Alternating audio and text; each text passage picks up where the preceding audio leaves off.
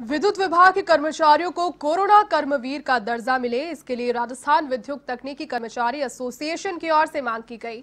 Association के आह्वान पर सभी कर्मचारियों ने अपने कार्यस्थल पर काली पट्टी बांधकर विरोध प्रदर्शन किया। एसोसिएशन के अध्यक्ष पृथ्वीराज गुर्जर ने इस पर कहा कि विभाग के कर्मचारियों को कोरोना कर्मवीर का दर्जा मिले। इसी के साथ वेतन स्थगन से उन्हें मुक्त रखा जाए और सरकार की ओर से कोरोना वायरस के चलते 50 लाख रुपए की बीमा योजना में भी उन्हें शामिल किया जाए। साथ ही में उन्होंने कहा कि विभाग के कर्मचारी 24 घंटे अपनी सेवाएँ दे रहे हैं।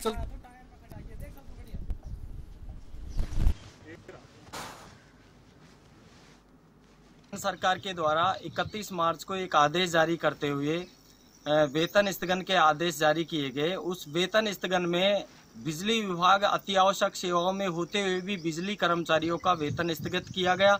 साथ ही साथ जब कोरोना कर्मवीर का दर्जा देते हुए अन्य विभागों के कर्मचारियों को 50 लाख का बीमा किया गया, जबकि अति आवश्यक सेवाओं में होते हुए बिजली कर्मचारियों का 50 लाख का बीमा भी नहीं किया गया, जिससे बिजली कर्मचारियों के आत्मसम्मान और स्वाभिमान को ठेस पहुँची है। इसके चलते हुए कि राजस्थान सरकार बिजली कर्मचारियों को भी कोरोना कर्मवीर का दर्जा दे